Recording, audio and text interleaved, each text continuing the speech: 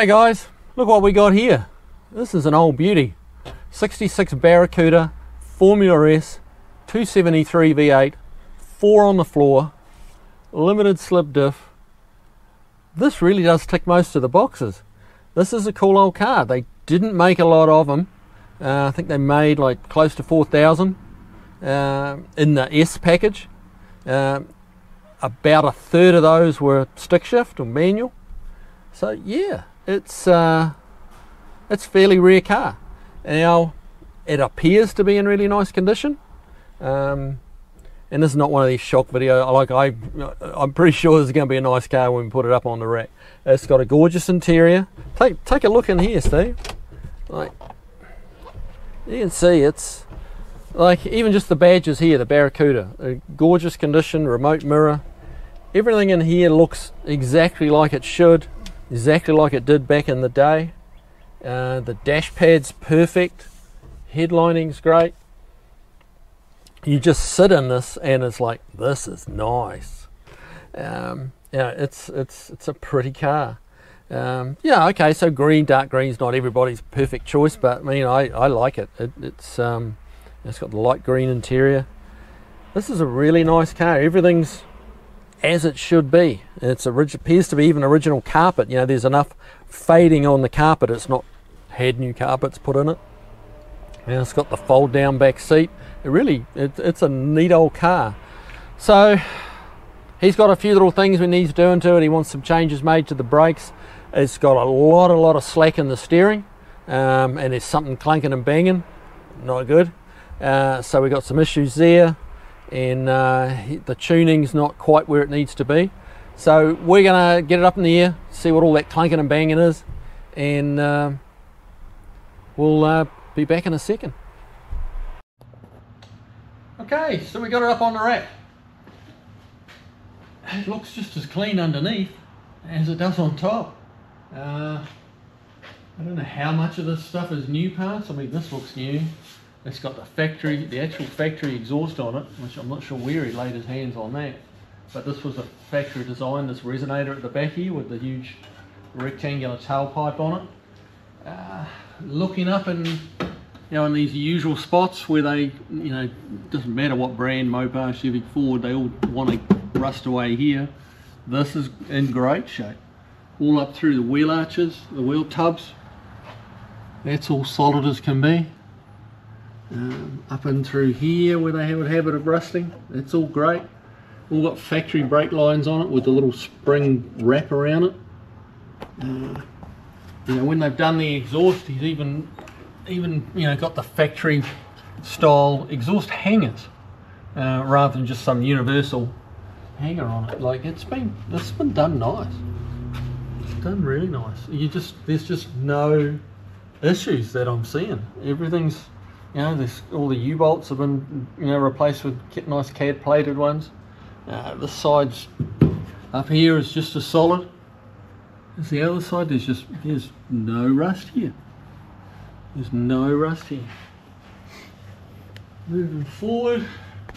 Oh, that was the other thing I noticed. This thing, which I'm not, one of you Mopar guys here watching might know whether this is a, an option that you ordered or whether they came with a limited slip. But look, this has got some kind of a track lock limited slip. And both wheels are running forward. So yeah, that's kind of cool. It's going to make it uh, a little nicer to, to, to romp on it. Now, yeah, it's got the, the two into one exhaust. So it's quite a big pipe for back in the day. And four speed. These were only ever designed to have a single pipe. You'll see the little notch here in the cross member. That's for the exhaust to sneak through. They didn't do it on this side. So yeah, this is only ever made for um, for a single pipe. But uh, if you saw Uncle Tony's video, yeah, he was saying that these things were only really ever designed to have a slant six in them and then they decided to shoe on the 273 in there. And then the year after this, they, they made them a bit bigger. They put the chassis rails further apart, moved the firewall back, and just made it a lot more V8 friendly. So, man, but all this, this is all original floor pans. All this is original. Um, like my Barracuda, you know, we had to replace all this because it was rusty. And my Barracuda's quite a good one. Uh, but not as good as this. Uh, he he did apparently was telling me he upgraded to, to disc brakes on the front, and now these are we've done a little bleed of the brakes here. We've changed the master cylinder, uh, so yeah, don't worry about it's a little bit of this weakness. That's just where we've been bleeding it. Um, but they are actual factory correct disc brakes for this car. It's not an aftermarket eBay kit, you know, with adapters and brackets, and this is all the, the original cast, you know, the correct stuff, which and that really just, in my mind, that really just steps it up a notch. Uh, it's not being cheaped out on um, at all. And yeah, man, it's nice. It is really nice. But yeah, even like stuff like this little rubber, you know, deflector, you know, those are usually long gone. Uh, still got the factory undercoating on in a lot of places. But they've replaced a lot of stuff too, like it's got new bump bump rubber here. That's that's new. So they've gone through and it's been restored like to a high level, which is you know it's nice to see. So yeah, we've got a couple more things to do on it. Um, got to rejet the carburetor. It's running a little fat, so we're going to do a little jet swap on the Edelbrock. Just take it down a size see how that cleans up the running on it and yeah take it for a test drive and see row a few gears so uh, I'm going to get it back on the ground dive into that carburetor and then we'll be back for a road test all right well we got everything crossed off the bucket list to-do list uh, if you come in here we put a we changed the master cylinder out it had a later model master cylinder uh, with the with the plastic uh, reservoir, which the customer didn't like. It kind of didn't fit with the car because uh, this is an upgrade, the booster and the and the tandem master. So uh, we changed it to this style master cylinder, and uh, we've gone a little bit smaller in the bore side. It had a very big bore on it. It was like inch and uh, three sixteenths bore, so the pedal was a bit dead. Um, this is now one inch bore, which should support um, you know the brakes that it's got on it uh, and give us actually more more leverage, more pedal pressure. Um, you know, with with less push on the pedal, giving more pressure to the brakes, which you know that'll that'll be an improvement.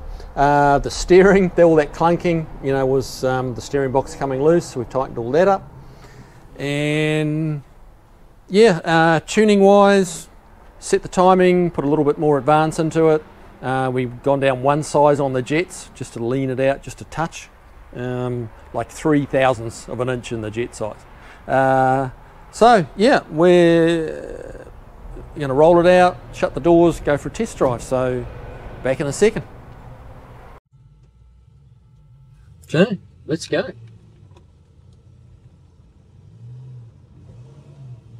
Look at that, even the little turn signals on the front of the fender are working. That's kind of cool.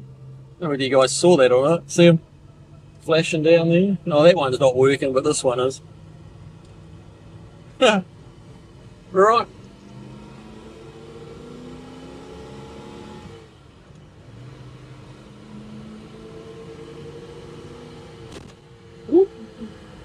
Oh, those brakes are a lot better. Those brakes are a lot better. Um, yeah, it doesn't take a lot to slow it down there. So yeah, it's getting towards five o'clock, so we've got a little bit of traffic to deal with, unfortunately. But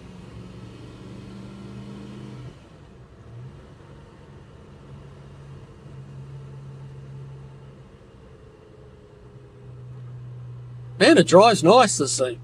It drives nice. Got plenty of power.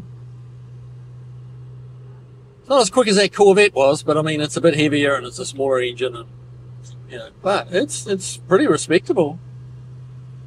Um,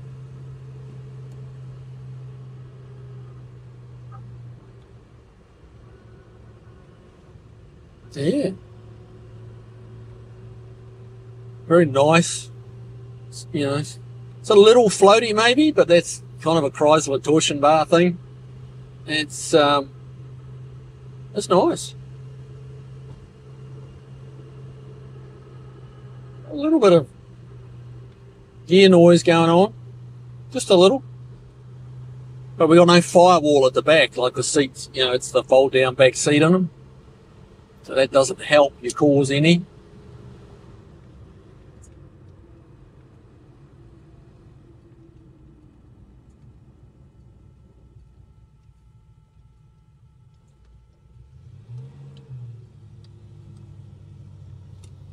Oh, very tall first gear. So it's a similar gearbox to that Corvette, so it's really nice.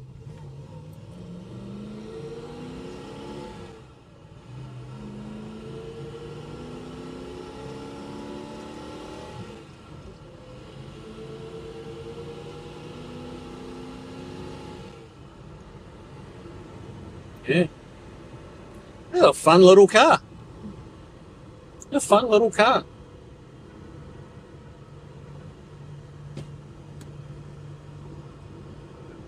Just cruising. Got a little bit of get up and go, and it's, but it's cruising too.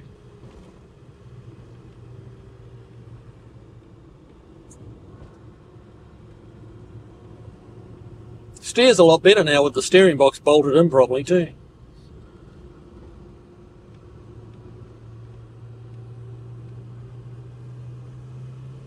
And like that's in top gear. It's got plenty of pull. You know, you don't have to go down the gears. That's pulling it, you know, like 30 mile an hour and it's pulling away quite happily. It's got plenty of torque. Yeah, well, I'm going to call this one another win for Kiwi and uh, get cleaned up, send her home.